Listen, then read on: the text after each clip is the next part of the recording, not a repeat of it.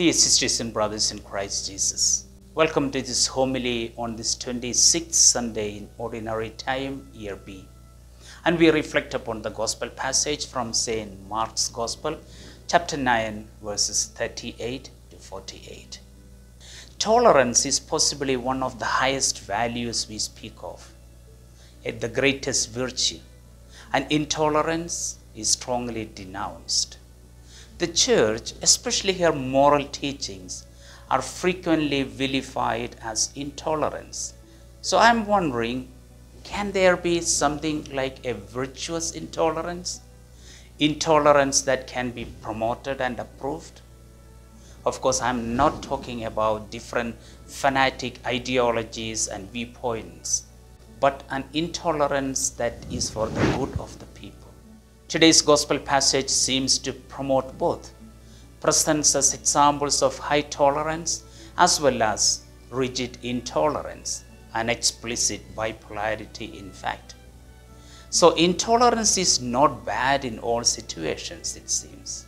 In the first part of the gospel, Jesus reprimands his own disciples for their narrow minded intolerance.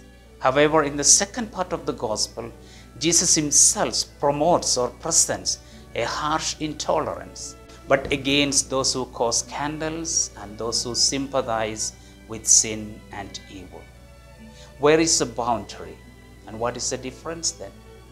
Let's go to the gospel passage. In the first part, we see Apostle John stops a man who was casting out demons and he was reporting to Jesus, Master, we saw a man casting out demons in your name and we forbade him for he was not following us. We are in a world that has a copyright for everything. And some big companies have paid billions of dollars for copyright violations. We know from the news. Copyright asserts certain claims on certain things or products like art, music, or design, etc. And it prohibits others from using it without permission.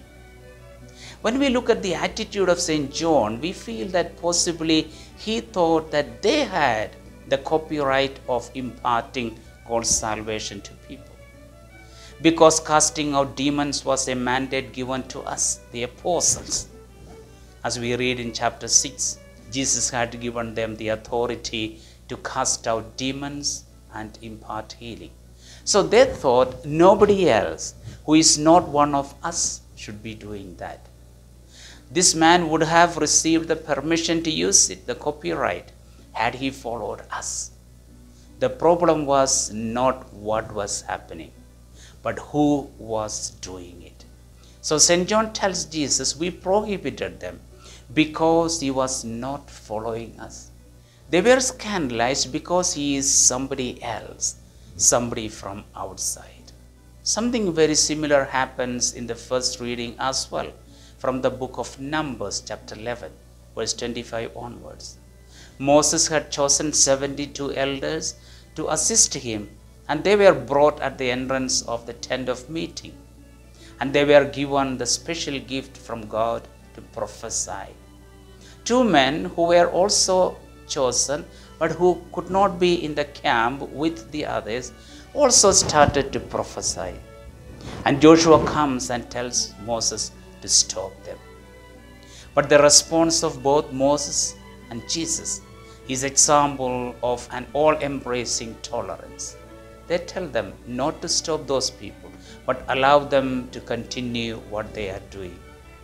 And Moses goes further and says, I wish if all the people of the Lord were prophets, would that the Lord might bestow his spirit on them all. Though Jesus did not say that explicitly, his response to John meant the same. But the disciples, whose focus was only on themselves, who is the greatest among us? What would we get in the kingdom of heaven? Which place, etc., were indeed unhappy that the Spirit is working through people who are not part of us. Sometimes we have the same attitude when people who are not members of our church evangelize, heal, and preach, and we try to discredit them rather than encouraging them. We are more zealous than Jesus himself. We do not have the attitude of Jesus or Moses about doing good. Or as St. Paul says, it is true that some preach Christ out of envy, selfish ambition, and rivalry, but others out of goodwill, out of love. But what does it matter? The important thing is that in every way, whether from false motives or true, Christ is preached. And because of this, I rejoice. Yes, and I will continue to rejoice. Philippians chapter 1, verses 15 onwards. We often fail to have that generosity, for we are focused too much on ourselves. As somebody said, there is something called an NIH syndrome. NIH, not invented here. And if it is not invented here, if it is not from us, it's not good, it's not acceptable.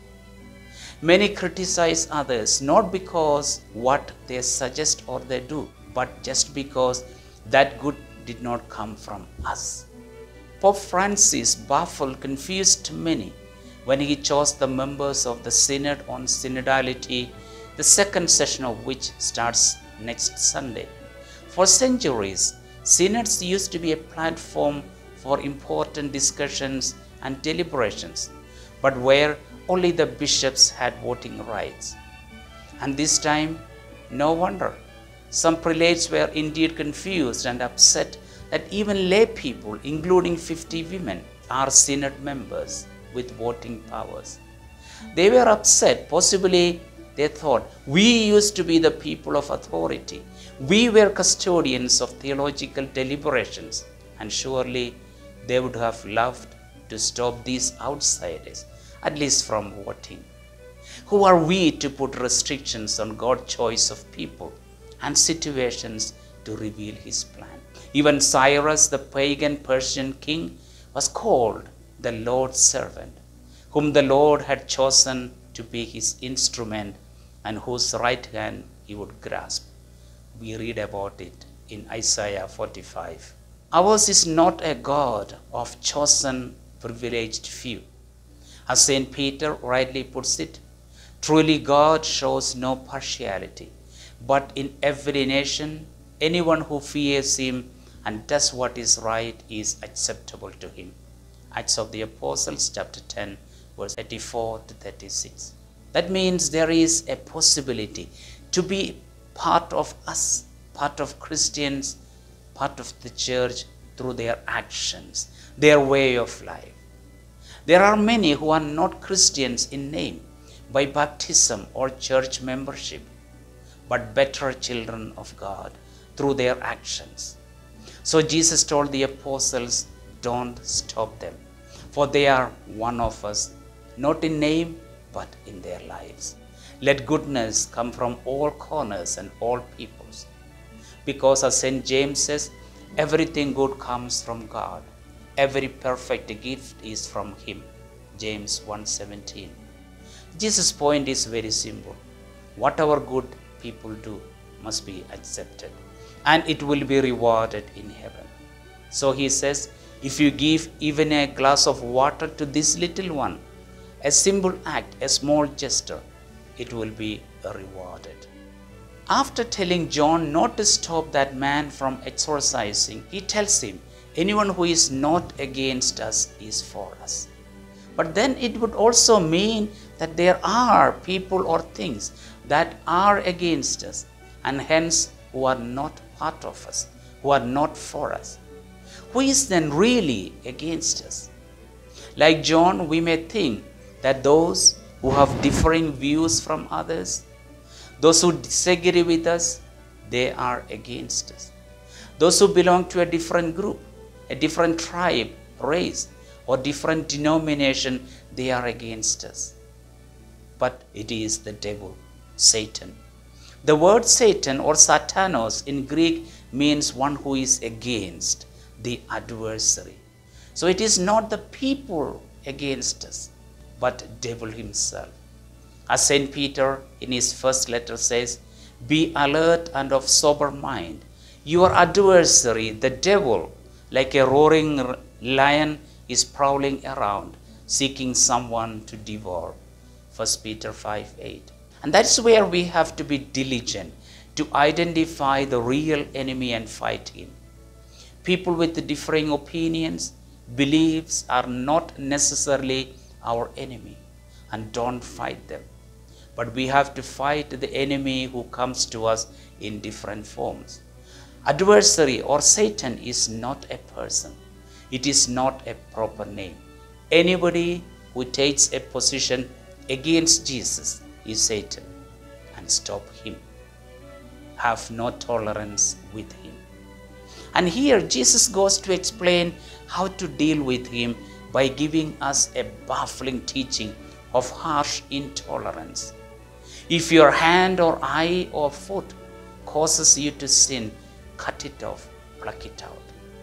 I'm sure Jesus did not mean a literal cutting off of our limbs, but his message is clear. The real enemy could be out there in our own people, in our own friends or family members, or he could be within us through our own interests, ambitions, desires, and passions. Do not take this enemy lightly. Deal with him sternly. They may be as dear to us as our eye or hand or feet, but cut them off. It is better to enter the kingdom of God lame or blind than to be thrown into eternal hellfire. If we don't recognize the real enemy within us or close to us, he will surely land us in the eternal hell. Hence, whatever comes between us and the kingdom of God, whatever comes between us and heaven, should be removed, mercilessly cut off, although it would cause pain, real pain. So, dear sisters and brothers, on this 26th Sunday, Jesus gives us two messages. First, whenever anything good comes from anybody, accept them, thank God, appreciate them irrespective of who they are. And second, there should be nothing between us and eternal life, between us and Jesus. Identify the true enemy and fight them, and not the people who are different from us, groups or categories. Have no tolerance of sin and evil, but tolerate everyone. Yes, Jesus condemned sin, but condoned the sinner. May He bless all of us.